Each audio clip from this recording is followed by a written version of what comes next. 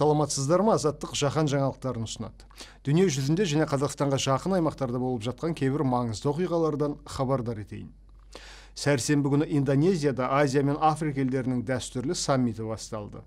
Мемлекет басшылары терроризммен күрес экономикалық байланыс білім беру және әйелдерді қолдау мәселелерін талқылап жатыр. Джакартадағы саммиттің ашылуында сөз сөйлеген индонезия президенті джоко видодо алпыс жыл бұрын саммитте көтерілген азия мен африка елдерінің тәуелсіздік алу мәселесі әлі өзекті екенін айтты. Ол халықаралық қауымдастықты палестина мемлекетін құруды жақтауға шақырды. Саммит делегаттары екі күндік жиын кезінде палестина бойынша жеке ұсыныс құжат әзірлемекші. Негізінен терроризммен күрес және әлеуметтік экономикалық мәселелер талқыланып жатқан жиында елден ерек ұсыныс жасағандар да болды. Солтүстік корея парламентінің спикері қос құрлықтың елдерін шеттен төнген агрессия мен ішкі мәселелерге қол сұғудан сақтандырды. Азия мен африка елдерінің саммиті тұңғыш рет 1955 жылы индонезияның бандунг қаласында ұйымдастырылған еді.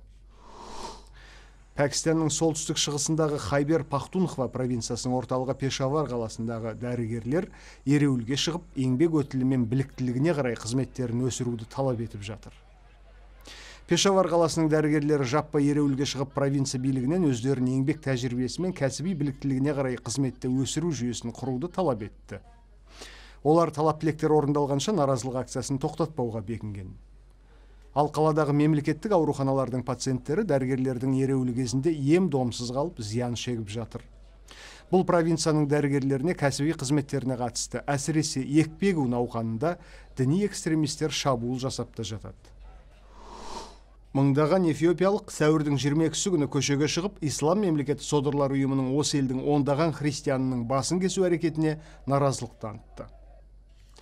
Аддис абеба қаласының мыңдаған тұрғыны шеруге шығып ислам мемлекеті діни ультра радикал ұйымының отыз шақты эфиопиялық христианды ливияда қолға түсіріп басын шауып өлтіруін айыптады.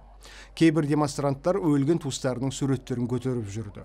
Басы шабылған бір эфиопиялық христианның анасы ислам мемлекеті содырларының мұсылмандыққа қатысы жоқ деп санайды.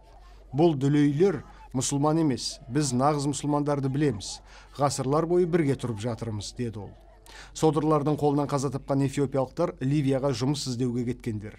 Өздерін ислам мемлекет деп атайтын ұйым ирак пен сириядағы жер аумақтарынан бөлек ливияның да бірнеше ауданын басып алған. Кейбір америкалық сарапшылар украина дағдарысына қатысты ресейге салынған санкциялар көлемі жағынан иранға қарсы жасалған шектеулерден де асып кеткенін айтады. Олар санкциялардың тегеранды иліктіргенімен мәскеуге әсер ете қоятынына күмәнданады. Вашингтондағы вудро вилсон орталығына жиналған жергілікті саяси сарапшылар ресейге ираннан да көлемді санкциялар салынғанымен бұл шараның неге тез әсер етпей жатқанын талқылады. 1979 жылдан бері тегеранға қарсы түрлі саяси экономикалық эмбарголар жарияланғанымен ирандық режимді келіссөзге көндірген тәсіл жекелеген банк есепшоттарын құрсаулау болып шыққан еді. Енді ресейге қарсы қолданылып жатқан бұл әдістен нәтиже шығарына күмәнданушылар да бар. Жеке жеке санкция салудың тиімділігіне көз жетпегесін еуропа одағы ресейге ортақ санкция салуға ұйғарған.